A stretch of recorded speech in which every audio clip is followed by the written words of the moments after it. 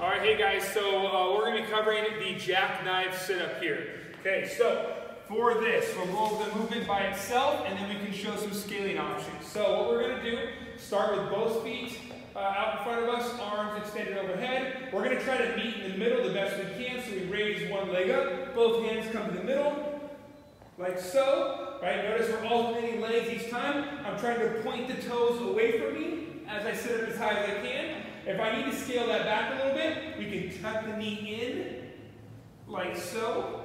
And uh, there are two different variations for the jackknife sit-up.